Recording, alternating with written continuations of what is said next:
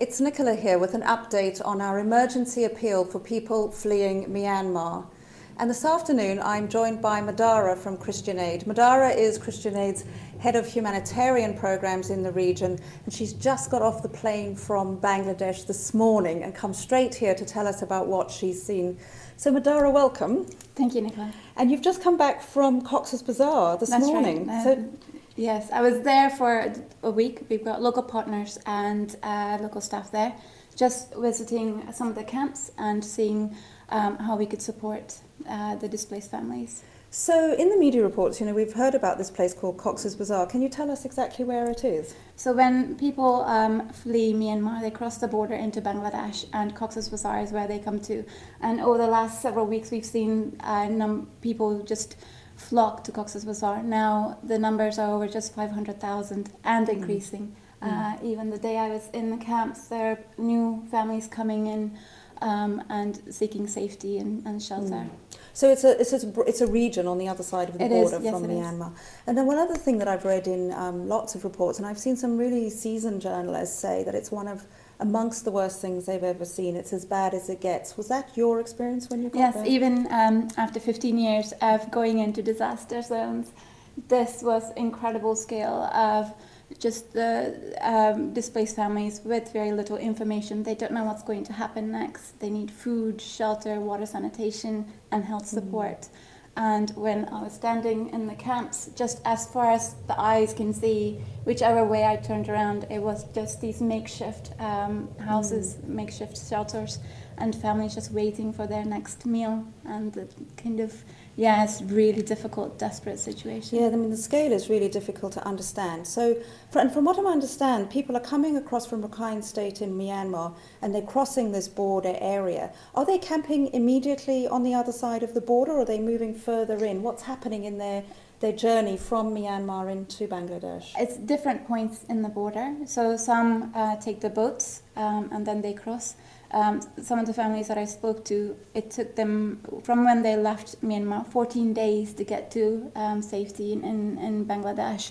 Others, uh, 24 hours, and um, and they've taken boats, trucks, trekked for days, barefoot, carrying their small children and elderly parents with just nothing but the clothes on their back. It's a really difficult, um, arduous journey for them. Mm. And how are they getting across the land from where they were in Rakhine State? Are they are there long columns of people walking by day? Do they have to go by night? What what's the situation? Both. So we've heard of long columns of people um, coming together in, in, in clusters and groups. Um, and this elderly lady, she said about her son dying, um, and she's got small grandchildren, five of them, daughter-in-law pregnant, and she said she didn't have a chance to mourn her son being um, lost.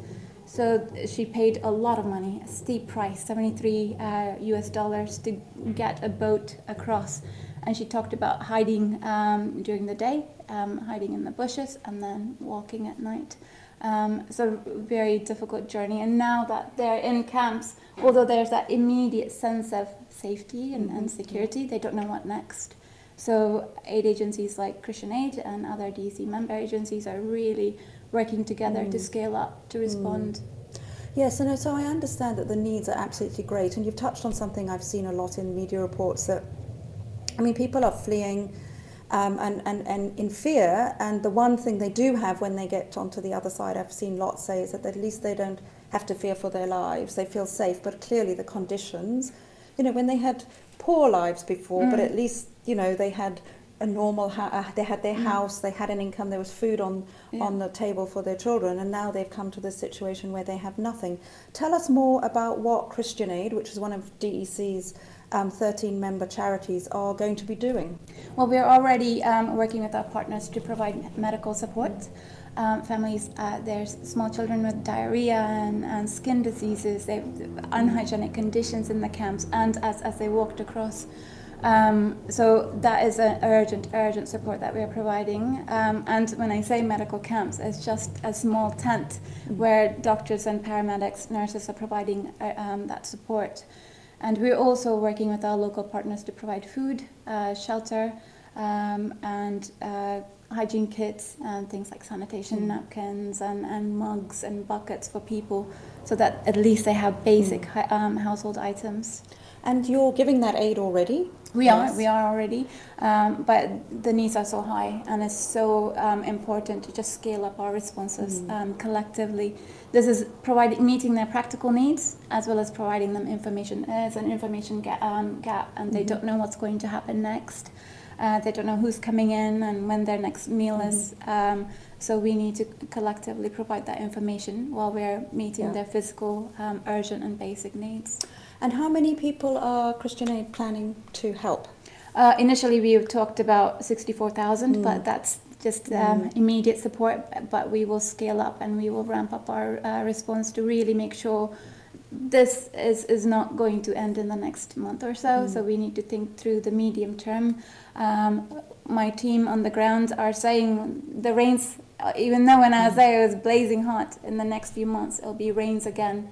And in these hel- hilly conditions, it means landslides and flash floods. Mm. So we need to make sure that the families are in, in safe um, shelter areas and that they've got the tools to withstand uh, what's coming next. Yeah, exactly. And tell us, um, what are the, the DEC is made up of 13 um, member charities, which include organisations like Save the Children, Oxfam, British Red Cross, and of course uh, Christian Aid.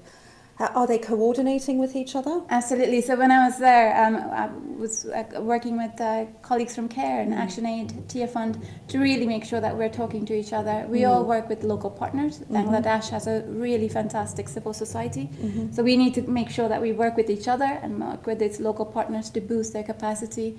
Um, I, I- that it's so Mm. important, and DEC agencies work well together, Mm. and we, we do well responding to crises like this.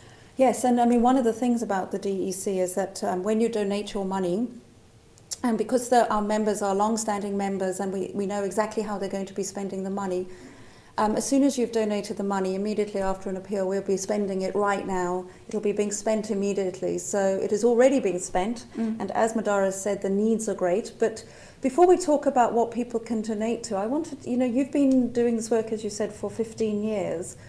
Did what when you saw it, did, did it shock even you, or, or have you seen it all before? No, I think every disaster is different. Um, Mm. And this was, I think, it, it kind of broke my heart a little bit because I was in Myanmar in March, I was in Bangladesh in Mm. March. And now to see this um, and thinking back to the families I met in Myanmar and wondering where were Mm. they and what, how, if they were safe. Um, I don't think any seasoned aid worker, no matter how long you do it, it things like that Mm. still is, is gut wrenching and, and Mm. yeah. Oh, that is really terrible. I mean, as we say, those people were poor, but they didn't need to flee and be in this desperate situation. And that really is what the DEC is all about coming together at a time of great humanitarian need, especially those that people weren't expecting that have come out of the blue. Um, you know, people have been forced to flee and, and, and they weren't anticipating it, and now they're stuck in this dreadful, dreadful situation, as Madara has explained. So we've got, um, as always, you know, we the, the British public are incredibly generous, and this morning we you know we announced that we had already raised five million pounds.